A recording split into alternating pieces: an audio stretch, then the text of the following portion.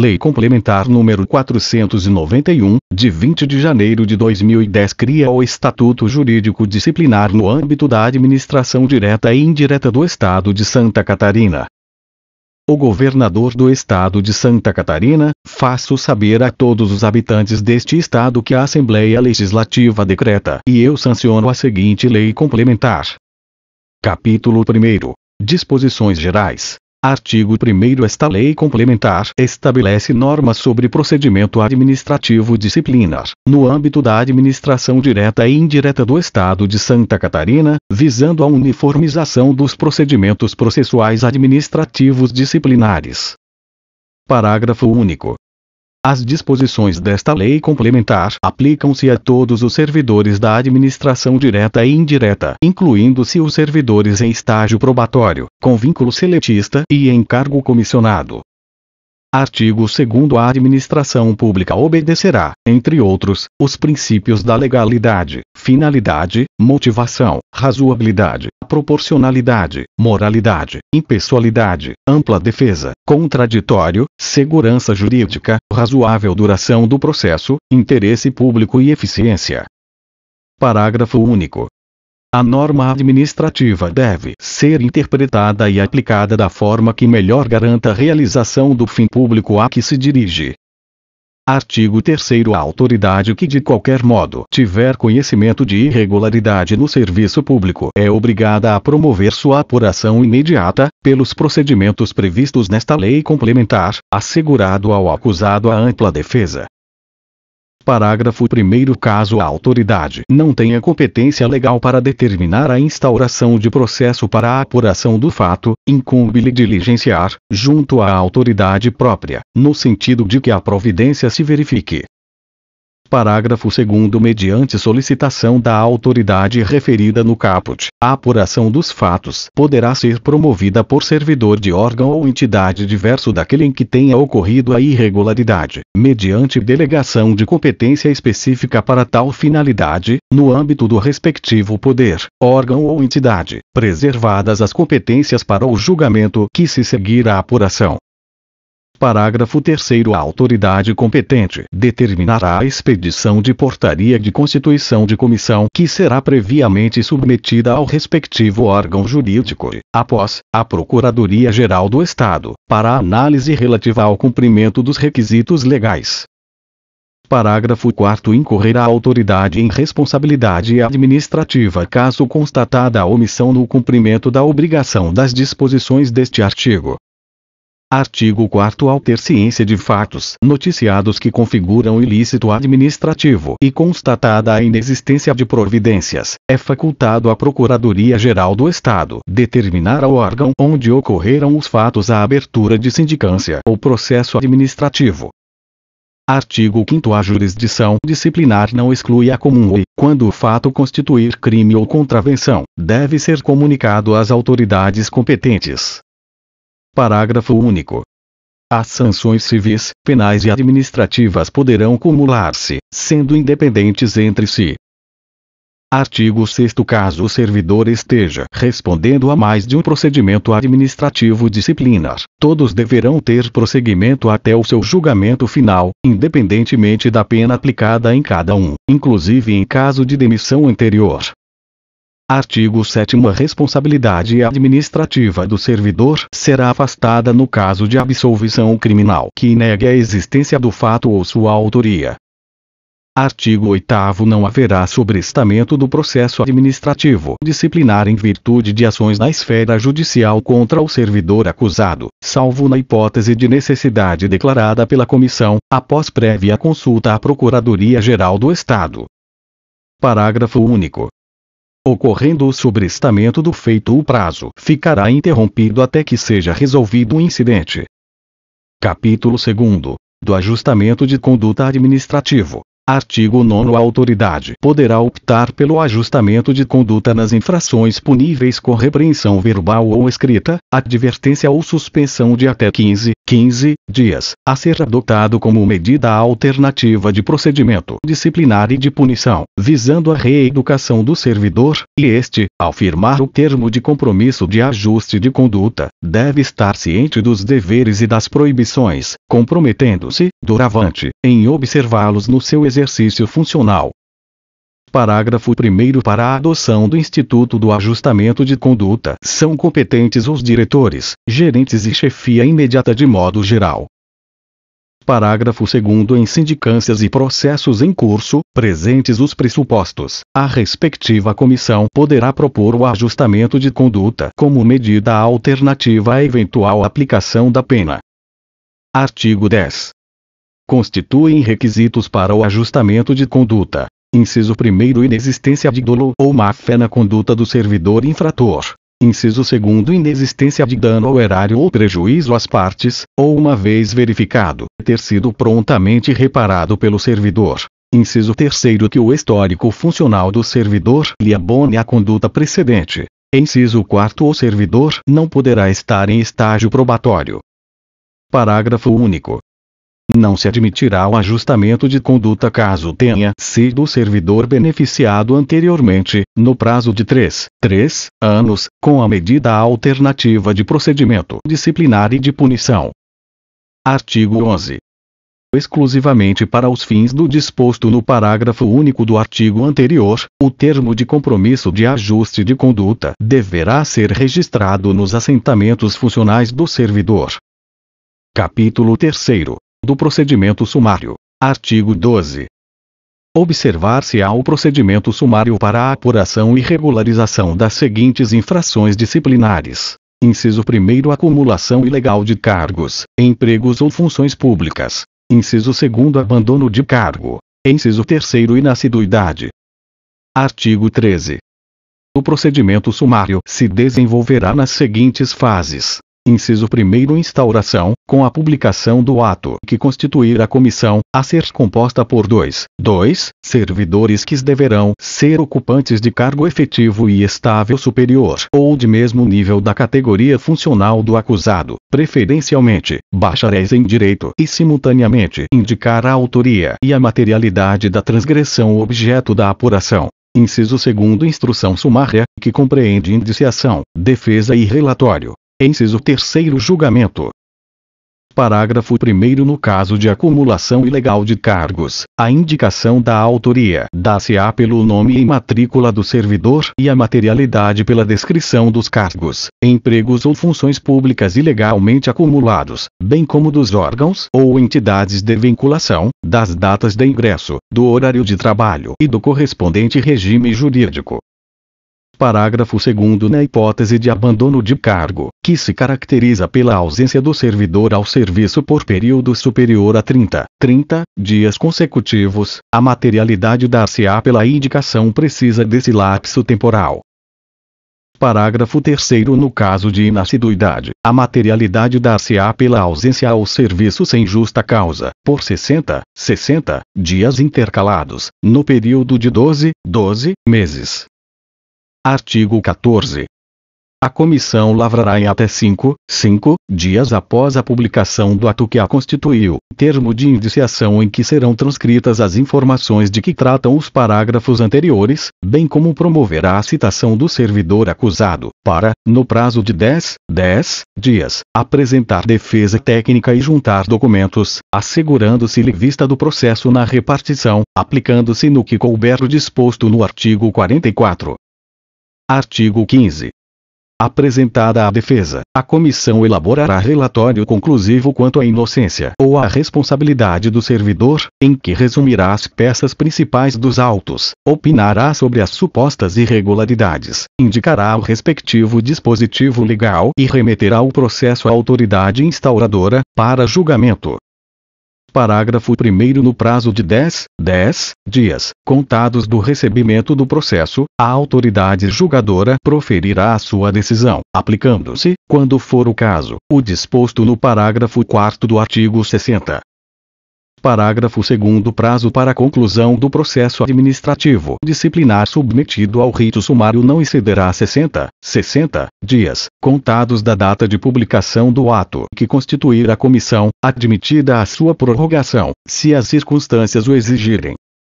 Parágrafo 3 O procedimento sumário rege-se pelas disposições deste artigo, observando-se, no que lhe for aplicável, subsidiariamente, as disposições do capítulo 5 desta lei complementar. Parágrafo 4 Nas infrações previstas no artigo 12, o servidor poderá requerer a exoneração do cargo desde que antes do julgamento. Capítulo 4 da sindicância. Artigo 16. A sindicância é o meio de que se utiliza a administração pública para, sigilosa ou publicamente, com sindicados ou não, proceder à apuração de ocorrências anômalas, ocorrentes no serviço público. Artigo 17. A sindicância se divide nas seguintes espécies: inciso 1 investigativa ou preparatória, inciso 2 acusatória ou punitiva com penalidade de suspensão de até 30, 30 dias, inciso 3 patrimonial, Parágrafo 1 A sindicância investigativa será instaurada quando o fato ou a autoria não se mostrarem evidentes ou não estiver suficientemente caracterizada a infração. Parágrafo 2 Na portaria de sindicância investigativa constará a identificação da autoridade instauradora e dos membros que compõem a comissão, a denúncia ou descrição das eventuais irregularidades ocorridas e o prazo para a conclusão dos trabalhos.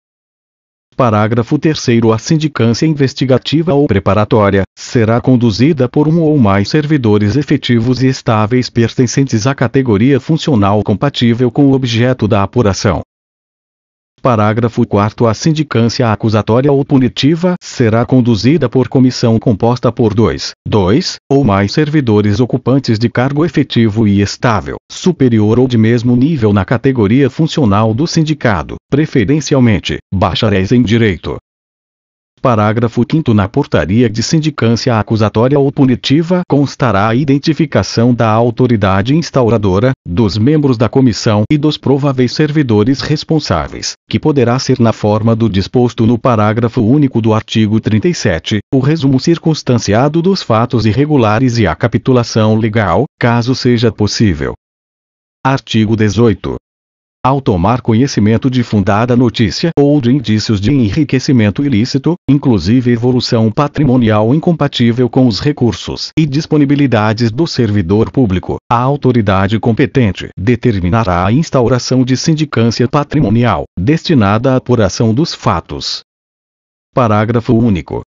Na portaria de sindicância patrimonial constará a identificação da autoridade instauradora, dos membros da comissão, o resumo dos fatos objeto da investigação e prazo para conclusão dos trabalhos.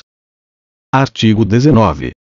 O procedimento da sindicância patrimonial será conduzido por comissão composta por dois, dois ou mais servidores, ocupantes de cargo efetivo e estável superior ou de mesmo nível da categoria funcional do sindicado, preferencialmente, bacharéis em direito. Parágrafo 1 A sindicância patrimonial constituir-se-á em procedimento sigiloso e meramente investigatório, não tendo caráter punitivo, Parágrafo 2 Concluídos os trabalhos da sindicância patrimonial, a comissão responsável por sua condução fará relatório sobre os fatos apurados, opinando pelo seu arquivamento ou, se for o caso, por sua conversão em processo administrativo disciplinar. Artigo 20. Da sindicância poderá resultar: inciso 1 arquivamento do processo, Inciso 2 aplicação de penalidades de repreensão verbal ou escrita, ou suspensão de até 30, 30 dias. Inciso 3 instauração de processo disciplinar. Artigo 21. Na sindicância não há necessariamente defesa, salvo no caso de sindicância acusatória ou punitiva. Artigo 22. A abertura de sindicância ou a instauração de processo disciplinar interrompe a prescrição, até a decisão final proferida por autoridade competente. Artigo 23. Os autos de sindicância, como peça informativa, poderão integrar o processo disciplinar. Parágrafo único. Na hipótese de o relatório da sindicância concluir que a infração está capitulada como ilícito penal, a autoridade competente encaminhará cópia dos autos ao Ministério Público, independentemente da imediata instauração do processo disciplinar. Artigo 24. O prazo para a conclusão da sindicância não excederá 30, 30 dias, podendo ser prorrogado por igual período, a critério da autoridade superior, observado o disposto no parágrafo único do artigo 30. Capítulo 5 do processo disciplinar. Artigo 25. O processo disciplinar é o instrumento destinado a apurar responsabilidade de servidor estável, em estágio probatório, com vínculo seletista e em cargos comissionados, por infração praticada no exercício de suas atribuições, ou que tenha relação com as atribuições do cargo em que se encontre investido. Parágrafo 1 O período do estágio probatório ficará suspenso com a instauração de qualquer procedimento administrativo disciplinar.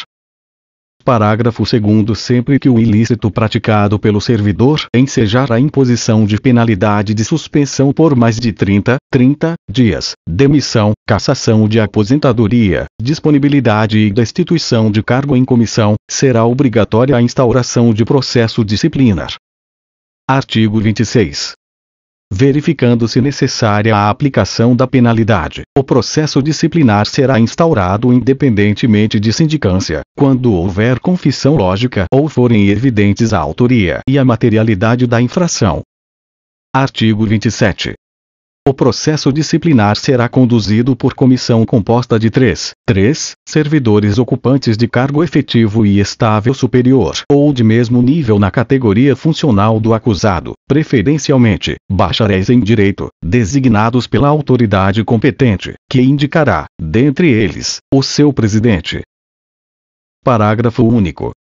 A comissão terá como secretário servidor designado pelo seu presidente, podendo, excepcionalmente, a indicação recair em um de seus membros. Artigo 28.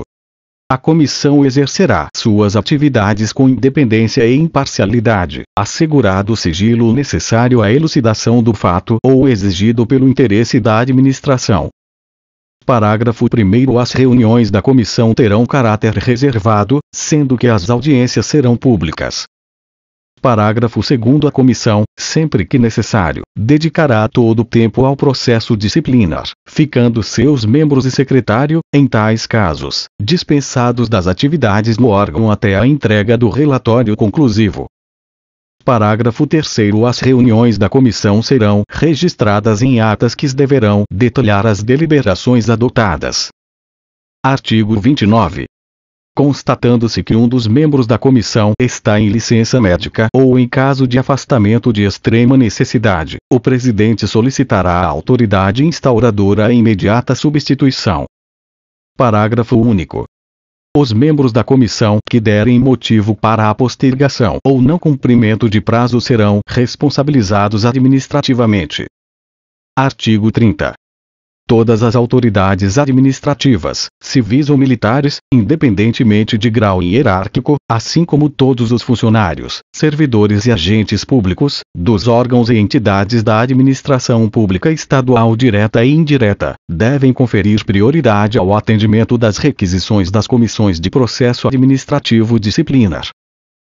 Parágrafo 1 O atendimento às requisições das comissões processantes deve ocorrer dentro do prazo máximo de 5, 5 dias, se outro prazo nelas não houver sido fixado, levando-se em conta a preclusão dos atos processuais, assim como a natureza e o grau de complexidade do objeto da requisição. Parágrafo 2 As repartições públicas poderão fornecer todos os documentos em meio eletrônico conforme disposto em lei, certificando, pelo mesmo meio, que se trata de extrato fiel do que consta em seu banco de dados ou do documento digitalizado. Parágrafo 3 A inobservância do disposto no parágrafo 1 constitui falta de exação no cumprimento de dever funcional e, vindo em prejuízo do interesse público, importará em responsabilidade administrativa, civil e penal. Seção 1 dos impedimentos. Artigo 31 é impedido de atuar em processo administrativo como presidente ou membro da comissão, ou servidor ou autoridade que, inciso 1 esteja em estágio probatório ou exerça exclusivamente cargo em comissão. Inciso 2 tenha participado como perito, testemunha ou representante da parte. Inciso 3 seja cônjuge, companheiro ou parente do acusado, consanguíneo ou afim, em linha reta ou colateral, até o terceiro grau. Inciso 4 tenha integrado comissão de sindicância da qual se originou o processo ou emitido parecer. E quinto, esteja litigando judicialmente com o interessado ou respectivo cônjuge ou companheiro. Artigo 32. A autoridade ou servidor que incorrer em impedimento deve comunicar o fato àquela competente, abstendo-se de atuar. Parágrafo único. A omissão do dever de comunicar o impedimento constitui falta grave, para efeitos disciplinares. Artigo 33. O interessado poderá arguir o impedimento de forma incidental em autos apartados e sem suspensão da causa. Artigo 34. O indeferimento do incidente de impedimento poderá ser objeto de recurso, sem efeito suspensivo. Seção 2. Fases do processo. Artigo 35. O processo disciplinar se desenvolve nas seguintes fases. Inciso 1 Instauração, com a publicação do ato que constituir a comissão. Inciso 2 Instrução. Inciso 3 Defesa. Inciso 4 Relatório conclusivo. E. 5 Julgamento. Subseção 1 Da instauração. Artigo 36.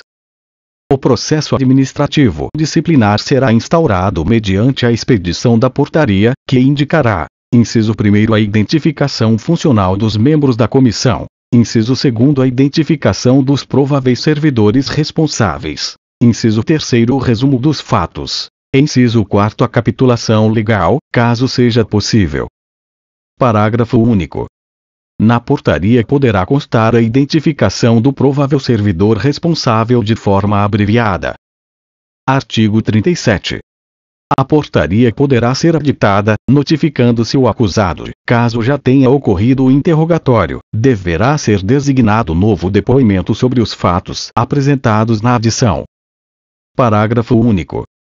Na hipótese de conhecimento de infrações conexas supostamente cometidas pelo acusado que emergirem no decorrer dos trabalhos, estas serão apuradas no próprio processo disciplinar em andamento, independentemente de aditamento ou da edição de nova portaria. Artigo 38. Iniciar-se-ão os procedimentos processuais disciplinares no prazo de 10, 10 dias, a contar da publicação da portaria no Diário Oficial do Estado e encerrar-se-á no prazo de 60, 60 dias, prorrogável por igual período, e em caso de força maior, por prazo determinado a critério da autoridade competente, não excedente a 60, 60 dias. Artigo 39. A instalação é formalizada pela autuação da portaria, e outros documentos que a instruírem, certidão ou cópia da ficha funcional do acusado, designação do dia, hora e local para audiência inicial e citação do mesmo, para se ver processar e acompanhar, querendo, por si ou por seu procurador devidamente habilitado no processo, a instrução. Parágrafo único constará do mandado de citação barra notificação o nome completo e matrícula do servidor, a cópia da portaria instauradora do processo, o local, data e hora da primeira audiência, além do prazo para arrolar as testemunhas de defesa. Artigo 40 quaisquer documentos, cuja juntada ao processo seja considerada necessária, deverão ser despachados, pelo presidente da comissão, com a expressão junte-se aos autos ou equivalente, seguida de data e assinatura, lavrando o secretário o competente termo de juntada. Parágrafo único. A numeração das folhas nos diversos volumes do processo será contínua, contando-se, porém, não se numerando, a capa e a contracapa, contendo em cada volume termo de encerramento e termo de abertura. Artigo 41. A citação do acusado dar-se-á pessoalmente, por escrito, contra recibo e será acompanhada de cópia da portaria. Parágrafo 1 No caso de se achar o acusado ausente do lugar onde deveria ser encontrado, será citado por via postal, em carta registrada com aviso de recebimento, AR, juntando-se ao processo o comprovante do registro e do recebimento. Parágrafo 2 O acusado que mudar de residência fica obrigado a comunicar imediatamente à comissão o lugar onde poderá ser encontrado. Artigo 42 quando, por três, três vezes, o membro da comissão processante houver procurado o acusado em seu domicílio ou residência, sem o encontrar, deverá, havendo suspeita de ocultação, intimar a qualquer pessoa da família, ou em sua falta a qualquer vizinho, que, no dia imediato, voltará, a fim de efetuar a citação, na hora que designar, Parágrafo 1 No dia e hora designados, o membro da comissão comparecerá ao domicílio ou residência do acusado, a fim de realizar a diligência. Parágrafo 2 Se o acusado não estiver presente, o membro da comissão procurará informar-se das razões da ausência, dando por feita a citação, ainda que o acusado se tenha ocultado. Parágrafo 3 da certidão de ocorrência. O membro da comissão deixará contrafé com pessoa da família ou com qualquer vizinho, conforme o caso, declarando-lhe o nome. Parágrafo 4 Feita a citação com hora certa, a comissão enviará ao acusado carta registrada com aviso de recebimento, ar, dando-lhe de tudo ciência. Artigo 43 achando-se o acusado em lugar incerto e não sabido, será citado por edital, publicado no Diário Oficial do Estado, com prazo, nessa hipótese, de 15, 15 dias para defesa, a contar da última publicação do edital. Parágrafo 1 Considerar-se-á revel o acusado que, regularmente citado, não apresentar defesa no prazo legal, Parágrafo 2 será designado um servidor, de preferência bacharel em direito, como defensor do acusado, se não atendida a citação por edital. Parágrafo 3 A revelia será declarada, por termo, nos autos do processo e devolverá o prazo para a defesa. Subseção 2 da instrução. Artigo 44. Na fase da instrução, a comissão promoverá a tomada de depoimentos, acariações, investigações e diligências cabíveis, objetivando a coleta de prova, recorrendo, quando necessário, a técnicos e peritos, de modo a permitir a completa elucidação dos fatos. Parágrafo único. É permitido o uso de prova emprestada, desde que respeitado o contraditório. Artigo 45 é assegurado ao servidor o direito de acompanhar o processo por intermédio de procurador, arrolar e reinquirir testemunhas, produzir provas e contraprovas e formular quesitos, quando se tratar de prova pericial. Parágrafo 1 compete ao advogado que postular no processo administrativo disciplinar informar telefone de contato, endereço eletrônico e profissional no qual receberá as intimações e notificações, bem como comunicar à comissão processante qualquer mudança de endereço. Parágrafo 2 O presidente da comissão poderá denegar pedidos considerados impertinentes, meramente protelatórios, ou de nenhum interesse para o esclarecimento dos fatos. Artigo 46.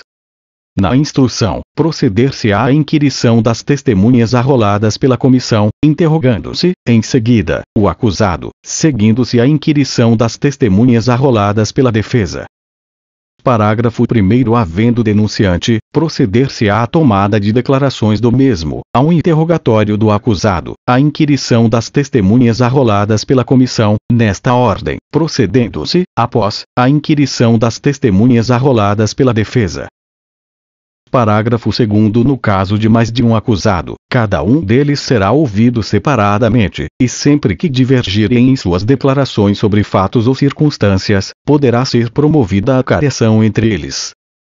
Parágrafo 3 Incumbe ao acusado, no prazo de 05, 5 dias a partir do seu interrogatório, apresentar o rol de testemunhas, precisando-lhes o nome, profissão, telefone, residência e o local de trabalho.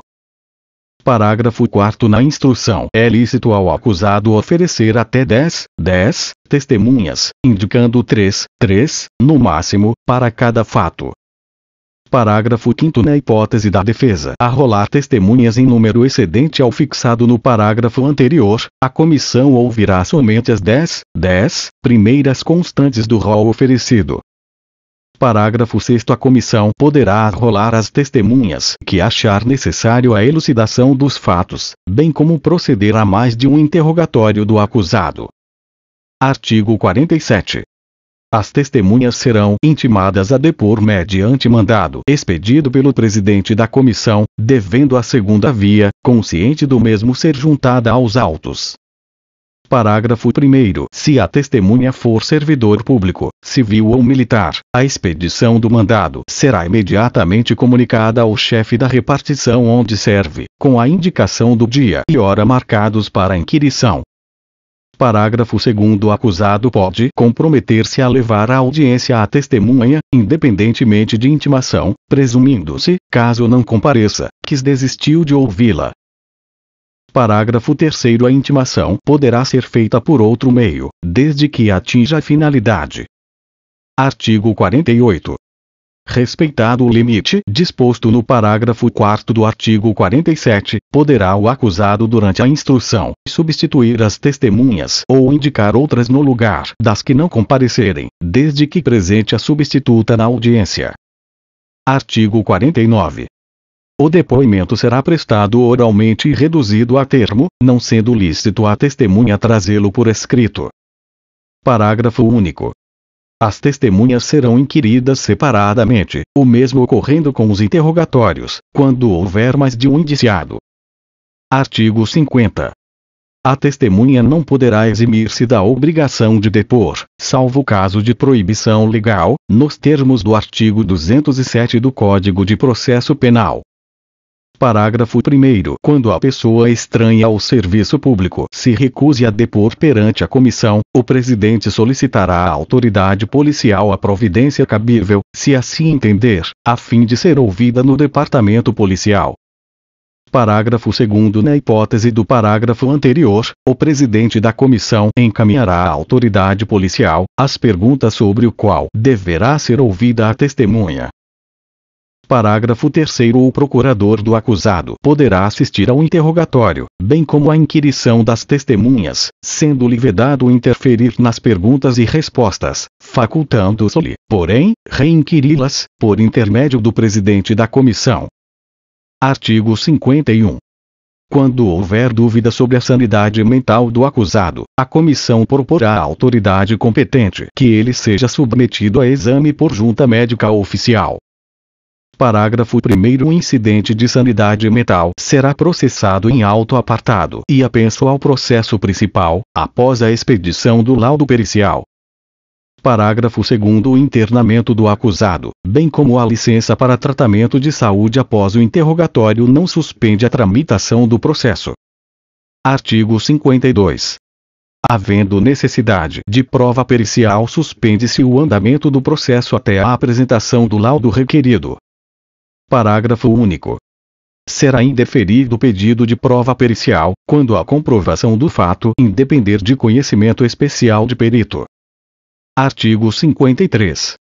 A fase instrutiva encerrar-se-á com relatório de instrução, no qual serão resumidos os fatos apurados, as provas produzidas e a convicção da comissão disciplinar sobre as mesmas, a identificação do acusado e das transgressões legais.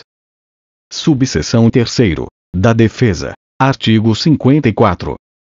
Após o relatório de instrução, o acusado ou seu representante legal serão notificados para apresentar defesa técnica no prazo de 15, 15 dias, oportunidade em que poderá juntar documentos, assegurando-se-lhe vista do processo na repartição, ou fora dela exclusivamente a procurador que seja advogado, mediante carga, no decurso do prazo. Parágrafo 1 Havendo dois, dois, ou mais acusados, o prazo será comum e de 20, 20 dias. Parágrafo 2 No caso de recusa do acusado ou do seu representante legal impurciente na cópia da notificação, o prazo para defesa contar-se-á da data declarada, em termo próprio, pelo membro da comissão que fez a notificação, com a assinatura de dois, duas, testemunhas. Parágrafo 3 Na hipótese de não apresentação de defesa técnica, o presidente designará um defensor ad hoc. Subseção 4 do relatório conclusivo. Artigo 55. Apresentada a defesa, a comissão elaborará relatório minucioso, onde resumirá as peças principais dos autos e mencionará as provas em que se baseou para formar a sua convicção. Parágrafo 1 O relatório será sempre conclusivo quanto à inocência ou à responsabilidade do servidor. Parágrafo 2 Reconhecida a responsabilidade do servidor, a comissão indicará o dispositivo legal ou regulamentar transgredido, bem como as circunstâncias agravantes ou atenuantes. Artigo 56. O processo disciplinar, com o relatório da comissão, será remetido à autoridade que determinou a sua instauração, para julgamento. Subseção 5 do julgamento. Artigo 57. No prazo de 20, 20 dias, contados do recebimento do processo, a autoridade julgadora proferirá a sua decisão. Parágrafo 1 Proferido o julgamento serão notificados da decisão o servidor e seu defensor, Parágrafo 2 Se a penalidade a ser aplicada exceder a alçada da autoridade instauradora do processo, este será encaminhado à autoridade competente, que decidirá em igual prazo. Parágrafo 3 Havendo mais de um indiciado e diversidade de sanções, o julgamento caberá à autoridade competente para a imposição da pena mais grave. Parágrafo 4 O acusado, no processo disciplinar, defende-se contra a imputação de fatos ilícitos, podendo a autoridade administrativa adotar capitulação legal diversa da que lhes deu a comissão processante, sem que implique cerceamento de defesa. Artigo 58. A extrapolação dos prazos previstos nesta lei complementar pela comissão ou pela autoridade julgadora não implica nulidade do processo. Artigo 59 nos processos administrativos disciplinares em que a comissão processante sugerir a aplicação de quaisquer penalidades previstas em lei, a autoridade competente deverá previamente submetê-lo ao respectivo órgão jurídico para análise relativa ao cumprimento dos requisitos legais. Parágrafo 1 Nas hipóteses em que a comissão processante sugerir a aplicação das penalidades de demissão simples, qualificada ou cassação de aposentadoria ou disponibilidade, após a manifestação dos órgãos jurídicos prevista no caput, deverá o processo administrativo disciplinar ser encaminhado à Procuradoria-Geral do Estado para análise relativa ao cumprimento dos requisitos legais. Parágrafo 2 Após, o processo deve ser restituído ao órgão de origem para encaminhamento pelo seu respectivo titular ao chefe do Poder Executivo. Parágrafo 3 Fica vedado a qualquer outro órgão emitir, no mesmo caso, manifestação divergente da proferida pela Procuradoria-Geral do Estado, Parágrafo 4 Se a penalidade prevista for a demissão ou cassação de aposentadoria ou disponibilidade, a aplicação da pena caberá à autoridade competente para nomear ou aposentar. Parágrafo 5 A responsabilidade administrativa do servidor será afastada no caso de absolvição criminal que negue a existência do fato ou sua autoria. Artigo 60. O julgamento a ser efetuado pela autoridade competente é dirigido pelo livre convencimento, a qual é facultado divergir das conclusões do relatório da comissão, podendo, motivadamente, agravar a penalidade proposta, abrandá-la ou isentar o servidor de responsabilidade. Parágrafo único. Reconhecida pela comissão a inocência do servidor ou a inexistência do fato, a autoridade instauradora do processo determinará o seu arquivamento, salvo se entender de forma diversa, frente à prova dos autos, quando aplicará a penalidade cabível. Artigo 61. Verificada a ocorrência de vício insanável, a autoridade que determinou a instauração do processo ou outra de hierarquia superior declarará a sua nulidade, total ou parcial, e ordenará, no mesmo ato, a constituição de outra comissão para a instauração de novo processo. Parágrafo único. A autoridade julgadora que der causa à prescrição da ação disciplinar será responsabilizada administrativa e judicialmente, Artigo 62. Quando a infração estiver capitulada como crime, será remetido cópia do processo disciplinar ao Ministério Público para, se for o entendimento, instaurar a ação penal competente. Artigo 63. O servidor que responder a processo disciplinar só poderá ser exonerado a pedido, ou aposentado voluntariamente, após a conclusão do processo e o cumprimento da penalidade eventualmente aplicada. Parágrafo único. Ocorrida a exoneração quando não satisfeitas as condições do estágio probatório, o ato será convertido em demissão, se for o caso. Seção 3. Dos recursos. Subseção 1. Artigo 64. São cabíveis os seguintes recursos: inciso 1 pedido de reconsideração e recurso hierárquico. Artigo 65. A petição de recurso observará os seguintes requisitos: Inciso 1 será dirigida à autoridade com competência para decidir e protocolizada no órgão no qual tramita o processo principal, devendo neste ser juntada. Inciso 2 trará a indicação do número do processo, o nome, qualificação e endereço do recorrente. Inciso 3 conterá exposição, clara e completa, das razões da inconformidade. Inciso 4 conterá o pedido de reforma da decisão recorrida. Artigo 66. Os recursos serão recebidos no efeito meramente devolutivo, salvo se, a juízo da autoridade competente, for concedido efeito suspensivo. Parágrafo único. Nas hipóteses em que a penalidade aplicada for de demissão simples, qualificada ou cassação de aposentadoria ou disponibilidade, após a manifestação do respectivo órgão jurídico sobre o recurso interposto, deverá o processo administrativo disciplinar ser encaminhado à Procuradoria-Geral do Estado para análise relativa ao cumprimento dos requisitos legais. Artigo 67. O pedido de reconsideração não poderá ser renovado, Artigo 68. O recurso hierárquico será dirigido à autoridade imediatamente superior àquela que julgou o processo. Artigo 69.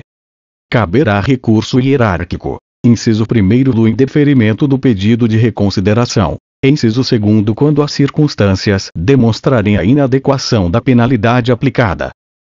Artigo 70. O prazo para interposição de pedido de reconsideração é de 30, 30 dias, e do recurso hierárquico é de 60, 60 dias, a contar da publicação ou da ciência da decisão recorrida pelo interessado ou defensor. Artigo 71. São peremptórios e improrrogáveis os prazos estabelecidos nesta seção, salvo motivo de força maior. Artigo 72.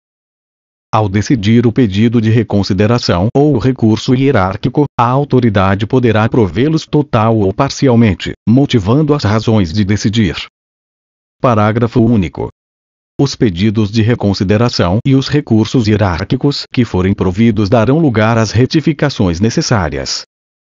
Seção 4. Da revisão. Artigo 73 caberá revisão da decisão que puniu o servidor com demissão ou cassação de aposentadoria, quando, inciso 1 se aduzirem fatos novos ou circunstâncias suscetíveis de justificar a inocência do punido. Inciso 2 quando a decisão revista for contrária a texto expresso em lei ou a evidência de fatos novos, modificativos e extintivos da punição. Inciso terceiro na hipótese da decisão proferida se fundar em depoimentos, exames ou documentos comprovadamente falsos ou eivados de vícios insanáveis. Parágrafo único. O ônus da prova caberá ao requerente. Artigo 74. O direito de propor a revisão se extingue em dois, dois anos, contados do fim do prazo para interposição do recurso hierárquico, observado o artigo 70. Parágrafo 1. Quando a revisão não se fundar nos casos contidos no elenco do artigo anterior, será indeferida, desde logo, pela autoridade competente. Parágrafo 2. A simples alegação de injustiça da penalidade não constitui fundamento para a revisão, que requer elementos novos ainda não apreciados no processo. Parágrafo 3 Nas hipóteses em que a penalidade aplicada for de demissão simples, qualificada ou cassação de aposentadoria ou disponibilidade, após a manifestação do respectivo órgão jurídico sobre o pedido de revisão interposto, deverá o processo administrativo disciplinar ser encaminhado à Procuradoria-Geral do Estado para análise relativa ao cumprimento dos requisitos legais. Artigo 75. O processo originário acompanhará, obrigatoriamente, a petição da revisão. Capítulo 6. Do afastamento preventivo. Artigo 76.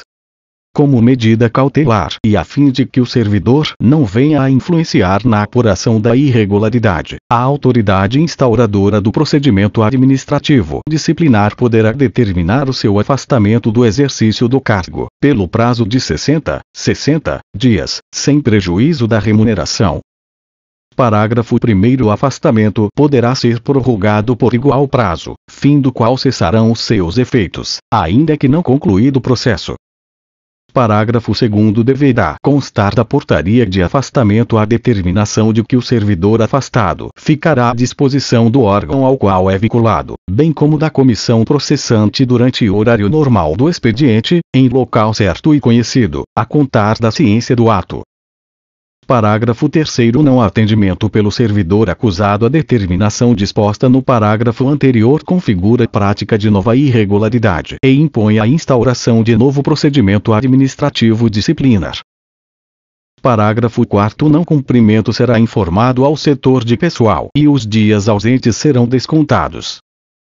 Parágrafo 5 é facultado ao órgão, dependendo da infração cometida, designar o servidor acusado para ter exercício em outro setor até o término do procedimento administrativo disciplinar.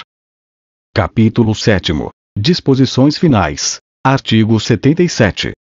Extinta a punibilidade pela prescrição, a autoridade julgadora determinará o registro do fato nos assentamentos individuais do servidor. Artigo 78 serão assegurados transporte e diárias aos membros da comissão e ao secretário, quando obrigados a se deslocarem da sede dos trabalhos para a realização de missão essencial ao esclarecimento dos fatos. Artigo 79 deverá ser remetida, anualmente, à Procuradoria-Geral do Estado a relação de todos os procedimentos administrativos disciplinares pelos órgãos da administração direta e indireta. Artigo 80. Esta lei complementar entra em vigor na data de sua publicação.